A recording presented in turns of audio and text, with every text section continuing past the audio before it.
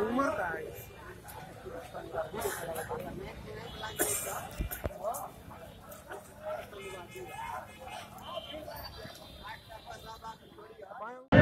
बम improvise नहीं है।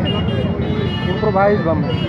कुछ आतंकी गतिविधियों सामने क्या है? आतंकी गतिविधि कहें या इसे उपद्रवी कहें ये तो उनकी जाँच पड़ताल उनसे पूछताछ के बाद कि वो किस इरादे से यहाँ ठहरे हुए थे। वो तब पता लग पाएगा? अभी ये कहना बड़ा मुश्किल। है हाँ मुश्किल है। स्पेकुलेशन करना ठीक नहीं है। हम्म, हम्म। क्या था? हम्म। समाज निकाल दिया गया है, सर। कमांडेंट